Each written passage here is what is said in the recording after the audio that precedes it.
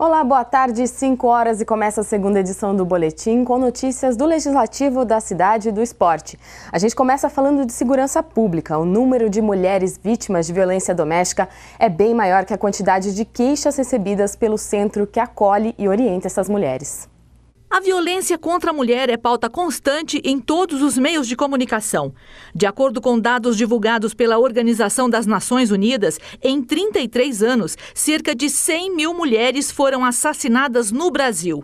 Em Campinas, cidade com mais de um milhão de habitantes, o CEAMO, Centro de Referência de Apoio à Mulher, recebe 130 queixas por mês. Nós atendemos mulheres em situação de violência doméstica de gênero e nós oferecemos aqui para as mulheres apoio, a parte de orientação psicossocial, orientação jurídica, para aquelas mulheres que se encontram em situação de violência. Essas mulheres vêm encaminhadas de diversos serviços da rede, da delegacia, do IML, ou elas procuram espontaneamente o serviço.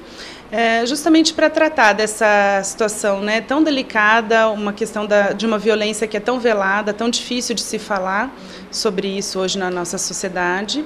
É uma, uma violência que agride não só a mulher, mas a família toda. A violência doméstica está presente em todo o planeta. Atinge mulheres de todas as classes sociais, idade, orientação sexual, raça e escolaridade e se apresenta de todas as formas no âmbito doméstico e familiar, como é o caso da chacina da véspera do ano aqui em Campinas, quando o ex-marido invade a festa, mata a ex-mulher, o filho de 8 anos, mais 10 pessoas da família e acaba com a própria vida. Nesse caso, eu acho que a gente pode é, usar como um alerta para as mulheres. Né? De fato, nós não conhecemos é, todas as pessoas com quem nós nos relacionamos para saber o que elas são capazes de fazer. Fazendo uma comparação entre o número de queixas que chegam ao SEAMO e a quantidade de boletins de ocorrência registrada na Delegacia da Mulher de Campinas, é possível notar que a conta não bate. Por que, que não bate? Não bate porque nem todas querem dar continuidade no atendimento. Muitas vezes, e isso é uma questão de orientação também, elas acham que feito o boletim de ocorrência, registrado o fato, está acabada a parte policial. Só que a parte policial, ela ainda vai continuar, mas mais importante que ela é a parte social, é a parte de acompanhamento. Aí é que entra o SEAMO, que muitas vezes não é procurado por elas. Nós não podemos é, ter medo, né? as mulheres não podem se calar. Eu acho que esse é um momento de fortalecimento. Nós, nós é, estamos acompanhando o crescimento dos movimentos é, feministas é, que visam isso, o rompimento, né? o fim da violência contra as mulheres. A Secretaria de Desenvolvimento Econômico e Social divulgou que em 2016 as micro e pequenas empresas arremataram 75% dos pregões eletrônicos.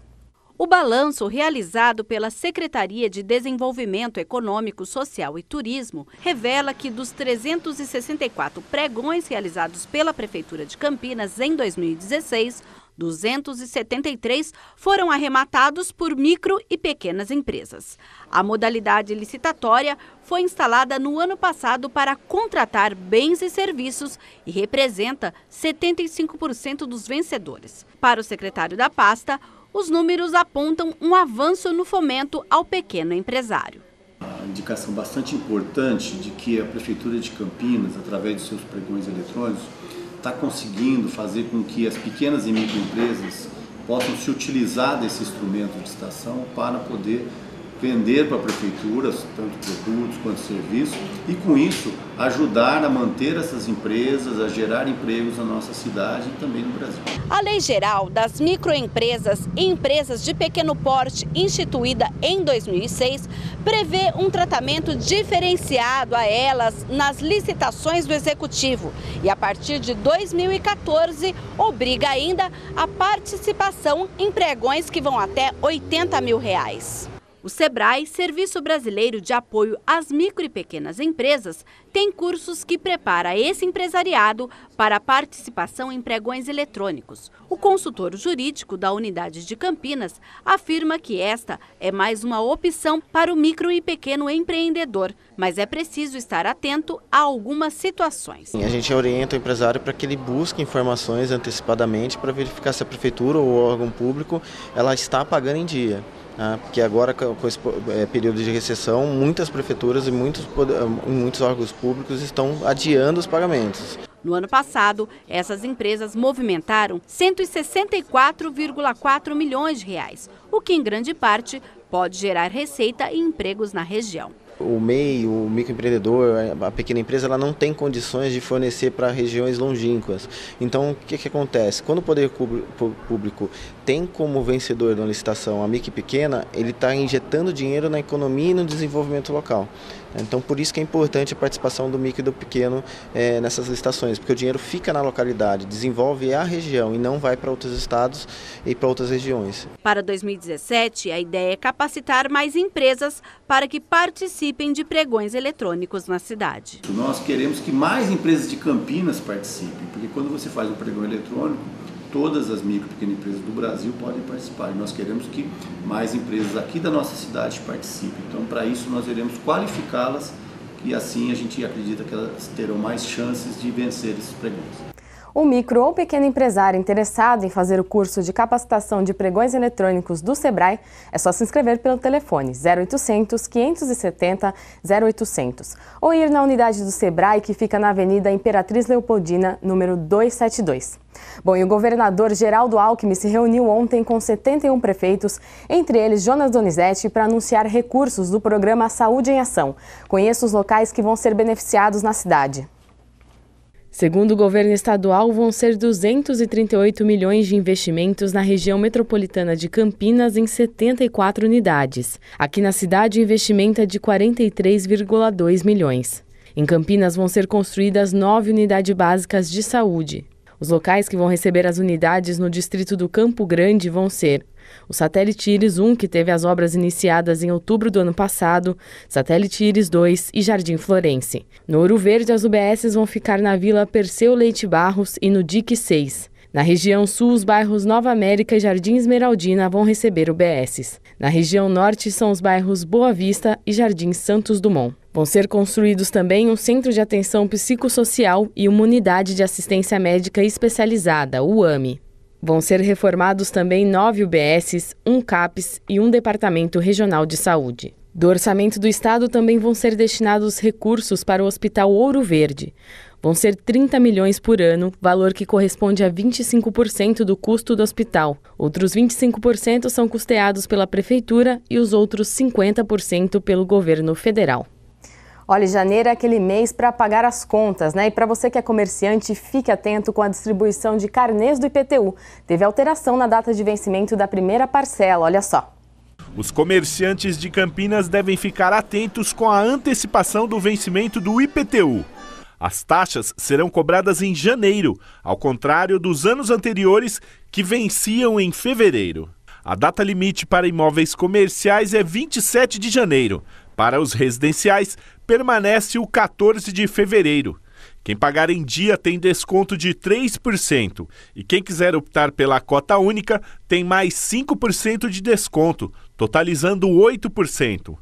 Caso haja alguma dúvida em relação a valores, a Prefeitura disponibiliza serviços de atendimento específicos no portal da administração, no Porta Aberta e no telefone 3755 6000. E antes de falar de esportes, vamos para a previsão do tempo. Uma frente fria que chega ao litoral do estado deve trazer mais chuvas para Campi Campinas neste fim de semana. As temperaturas continuam em média 20 graus para as mínimas e 30 graus para as máximas. Na segunda-feira, o tempo deve permanecer instável, com mínima de 19 graus e máxima de 28 graus. Bom, gente, então é hora de falar de esportes. Enfim, acaba a folga para a Superliga Masculina de Vôlei, né, Gabriel? Boa tarde de novo. É isso. Boa tarde mais uma vez, Gabi, você que nos acompanha. É, amanhã tem o recomeço, é, acabou né, essa folga que você citou. A última partida foi lá no dia 21 de dezembro do ano passado e agora a Superliga de Vôlei Masculina vai ser retomado. Amanhã o Brasil Quirim joga aqui em Campinas, então vamos acompanhar uma reportagem. A Superliga Masculina de Vôlei volta neste sábado. O Brasil Quirim Campinas recebe a equipe de Juiz de Fora às 2h10 da tarde no ginásio do Taquaral. A equipe do técnico argentino Horácio de Léo quer a reabilitação, já que vem de derrota na última partida de 2016, também jogando no Taquaral contra o líder Cruzeiro. Para o duelo deste sábado, os dois principais jogadores desta temporada até agora estão confirmados. O central Maurício Souza, atleta que disputou os Jogos Olímpicos do Rio de Janeiro e conquistou o caneco, e o oposto Rivaldo, jogador experiente de 36 anos. Campinas está na quinta colocação com 22 pontos, 8 vitórias e 3 derrotas. O adversário Juiz de Fora está logo atrás, na sexta colocação, com 16 pontos, 6 vitórias e 5 derrotas. Grande jogo e pode ser o pontapé inicial para o Brasil Quirim retomar a perseguição ao líder Cruzeiro. A entrada para a partida é um quilo de alimento não perecível. Está então apenas reforçando o convite. Amanhã, 2h10 da tarde, tem Brasil Quirim Campinas e Juiz de Fora no ginásio do Taquaral. E a gente lembra que o ingresso é um quilo de alimento não perecível, então vale a pena prestigiar Sim. esse time aí da nossa cidade, né? E se o vôlei masculino está voltando, significa que a Superliga Feminina também está de volta e o Valinho está na área. Exatamente. Hoje, daqui a pouco, a única equipe da região, o Renata Valinhos Country, enfrenta o Praia Clube de Uberlândia fora de casa, sete e meia da noite. Valinhos na última colocação, 11 jogos e 11 derrotas, mas isso, ó, ano passado agora zerou tudo pra gente e Praia Clube está na quinta colocação com 8 vitórias e apenas 3 derrotas. É difícil, mas é um ano diferente, novas esperanças, então dá para acreditar nessa equipe de Valinhos que ainda pode fugir da zona de rebaixamento. A gente torce então para que esse ano novo seja melhor para a equipe de Valinhos, né, que eles consigam a primeira vitória na competição. Sim. Agora, Gabriel, vamos para o futebol porque a Ponte Preta fez bonito ontem na Copinha. É, depois de um primeiro tempo morno, a Ponte entrou em campo com muita vontade e venceu Marília por 3 a 0. Vamos então aos gols da Copa São Paulo de Futebol Júnior. Jogando diante dos donos da casa, a Macaquinha fez um ótimo segundo tempo. Após cruzamento, Yuri, que saiu do banco de reservas, abriu o placar 1 a 0 Ponte. Pouco tempo depois, após mais um cruzamento, o zagueiro Giovani jogou contra o próprio gol. 2 a 0 Ponte. E tinha mais. Raí fez ótima jogada e serviu o atacante Aaron, que também saiu do banco de reservas e acertou um lindo chute. Final: Ponte Preta muito perto da classificação 3. Marília, ainda com chances de avançar, 0.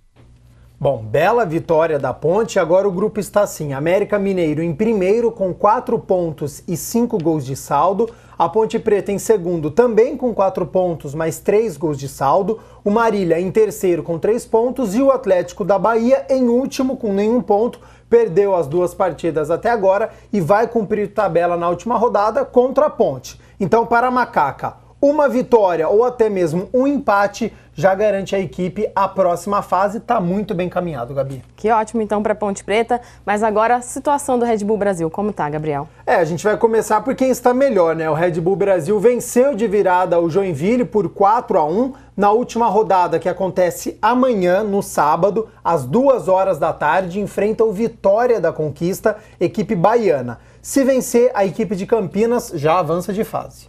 Agora a situação complicada é que está o Guarani, né? Teve até demissão hoje no clube, Gabriel, é isso? É, já o Guarani a situação preocupa, né? Empatou sem gols diante do Santa Cruz ontem, já havia perdido na estreia para o Ituano por 2 a 0, é o lanterna do grupo, não conseguiu marcar nenhum gol na competição até agora. Na última rodada, o Bugre precisa golear o 15 de Piracicaba e ainda torcer por um vencedor na partida entre Ituano e Santa Cruz. Para piorar, a diretoria do Bugre informou hoje, agora à tarde, a demissão do treinador Renato Morungaba, campeão brasileiro como jogador em 78, ídolo do clube, no meio da competição, faltando apenas um jogo para acabar a primeira fase tá bem errado, mostra a falta de planejamento do Guarani, viu? O Guarani, então, está a um passo da eliminação, né, Gabriel? Ainda na primeira fase, o que Sim. é uma pena. Neste fim de semana, além do vôlei, como a gente comentou por aqui, tem mais um evento na cidade que vale a pena conferir. É, amanhã no SESC, o campeão olímpico Bruno Schmidt, atleta do vôlei de praia, vai dar uma palestra sobre a carreira, lembrando que ele já foi eleito duas vezes o melhor jogador do mundo. E depois dessa palestra, ele ainda vai bater uma bola com o público. Então anotem aí, do meio-dia às três horas da tarde, no Sesc, Rua Dom José I, número 270, no bairro Bonfim. A entrada é franca para quem quiser assistir. E agora, Gabriel, vamos encerrar com uma ótima notícia, aliás, uma notícia muito emocionante, né? É, nós tivemos a reapresentação do elenco da Chapecoense e o zagueiro Neto apareceu, conversou alguns minutos com os jogadores da Chapecoense e depois deu uma entrevista coletiva. Vamos ver o que o Neto falou. É uma situação muito diferente né, do que a gente, do que eu sempre vivi. É, entrar no clube que a gente estava defendendo numa final é, com todos os amigos que eu vivi há anos.